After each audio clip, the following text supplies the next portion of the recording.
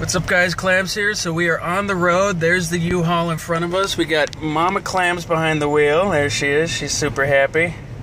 We're finally on the road. All right, out here we come. Goodbye, Houston. Finally on the road after an hour delay thanks to our realtor who finally pushed some contracts through.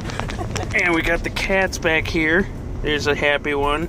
They're both very unhappy at the moment. Yes, yes. Um, so Mama Clams will drive the length to Waco, which is about three hours, uh, especially with uh, Pops in the U-Haul that is fully packed. He's riding heavy. Yeah, he's very heavy at the moment, and um, we're not too bad, but uh, you know he he may pick up pace once he hits that you know fourth gear or something. Who knows?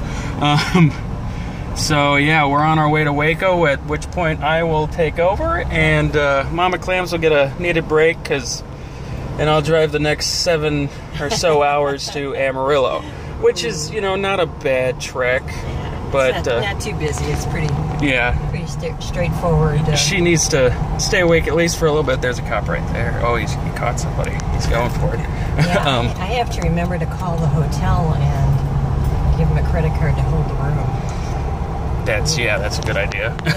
yeah, otherwise we have no room tonight. um, but yeah, uh, what was I saying?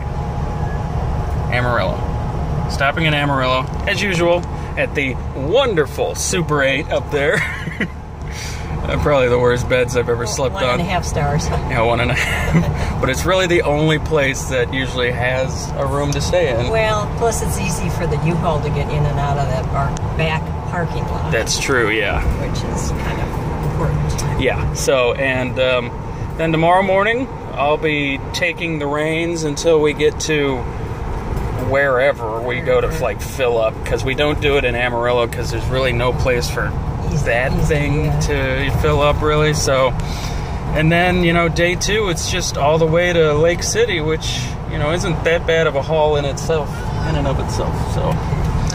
All right, you want to get in front of here? All right, so until we get all settled on the freeway here, I'm gonna stop recording and just want to keep you guys updated. This is moving day, and we are finally on the freeway.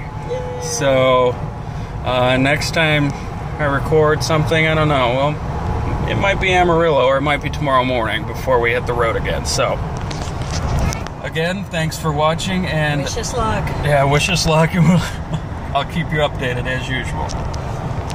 Bye bye, Houston.